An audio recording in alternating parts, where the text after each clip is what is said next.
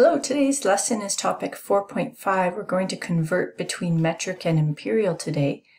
And if you think about which is longer, a mile or kilometer, if you have experience with miles, you've been to the United States and bumped around a little bit, you've noticed that they're using imperial measurement down there. And a mile is longer than a kilometer. 100 kilometers per hour is about 60 miles per hour. And we're going to take a look at how we're going to convert between these two units of measurement, metric and imperial. This chart summarizes the things that we've learned so far in this unit. So for length, metric measurements, the ones that are the most common, are millimeters, centimeters, meters, and kilometers. Whereas on the imperial side, they measure in inches, feet, yards, and miles. For weight, Milligrams and grams are our small units of weight. Kilograms and tons are our heavy units of weight. In imperial, the measurements of weight or mass are ounces, pounds, and tons.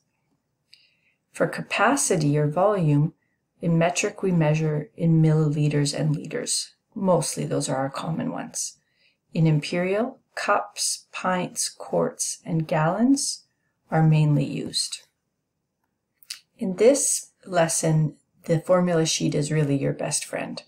And what's cool about going from metric to imperial or imperial to metric is we don't have to worry about do we multiply or divide.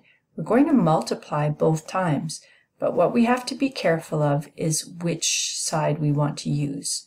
So notice that if we're going from metric to imperial, we're going to look at the left-hand side. Whereas if we're trying to convert from imperial to metric, we're going to use the right-hand side of our formula sheet. Let's look at some examples. For example one, we want to convert 50 centimeters to inches. So we are going from metric to imperial.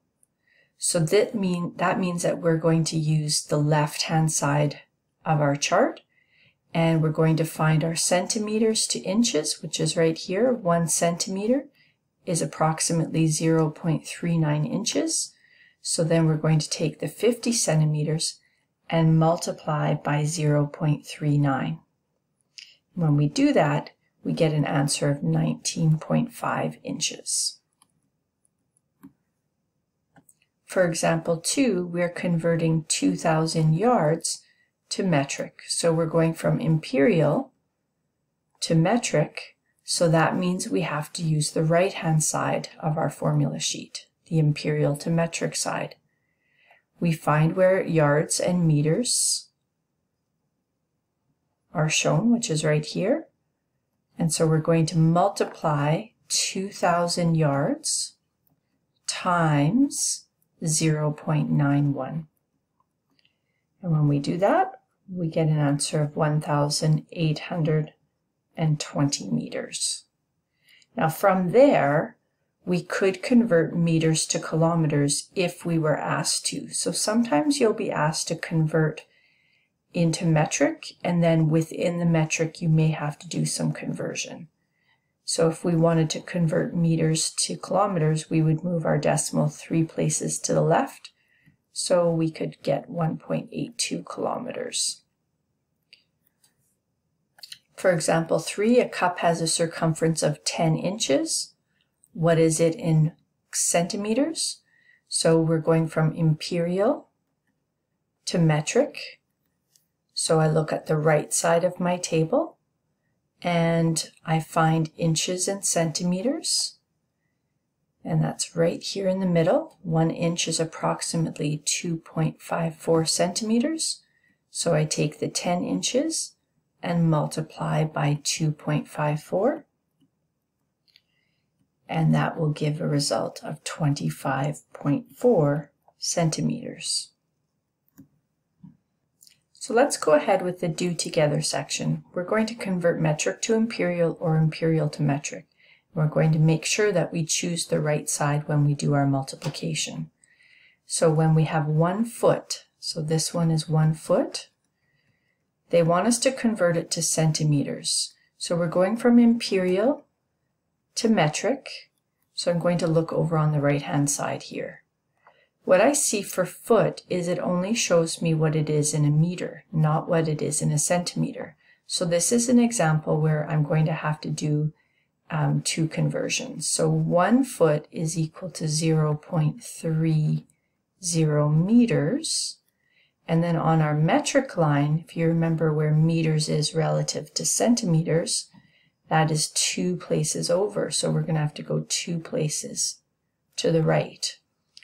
So 0.3 meters is equal to 30 centimeters.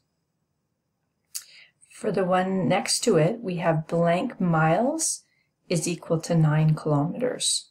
So we know the metric, so we're going from metric to imperial. So these ones, you have to really go slow and be sure.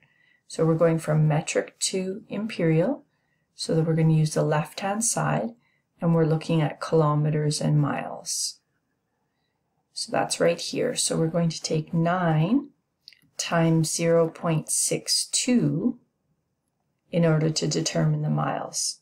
When we multiply that, we get an answer of 5.58 miles.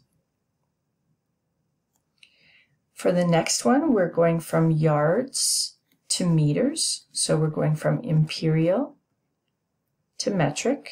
So we're back over to the right-hand side of our table. And we look for yards and meters, and that's right here. So one yard is equal to 0.91 meters. For the next one, we're going from feet to meters. So again, from imperial to metric.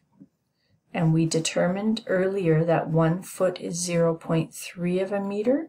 So we're going to take three feet times 0.3 which will give us a result of 0.9 meters. The next one, we're going from centimeters to inches. So we're going from metric to imperial. So we're going to use our left-hand side of our table. We're looking at the centimeter to inches here. So we're going to take 5 times 0.39 and 5 times 0.39 is 1.95 inches. And the last one here, we're going from 20 kilometers to miles. So we're going from metric to imperial again. So that's the left-hand side of our table. And we're looking for kilometers and miles, which is the top one. So we're going to take the 20 kilometers and multiply that by 0.62. And 20 times 0.62 gives a result of 12.4 miles. For the next video, we'll do a few of the exercise questions together.